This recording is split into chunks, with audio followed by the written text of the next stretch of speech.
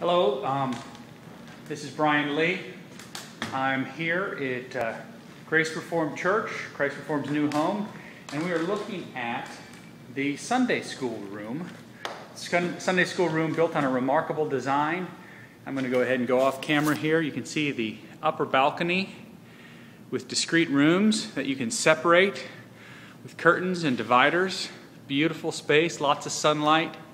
And as you look around the balcony, you have here a elevated stage area for instruction and teaching, and also a little bit of cleanup work to do. You see one of the upper rooms there.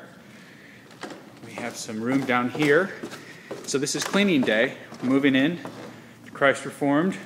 Uh, hope to use this space for our adult catechism. We'll be setting up some chairs, We'll be pulling down these dividers and storing some old materials back here. But we have a lot of sweeping, uh, mopping to do in this space.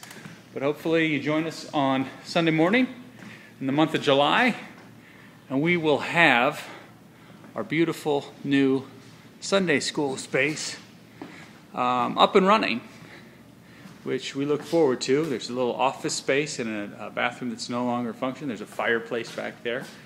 Um, but this is where we will be having our, uh, our time of catechism.